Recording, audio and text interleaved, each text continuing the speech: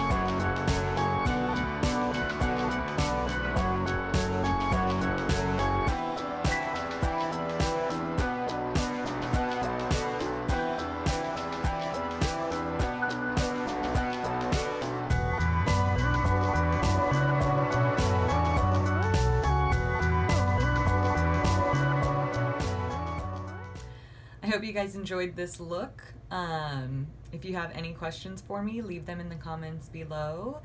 Um, and stay tuned for my next video. Thank you so much.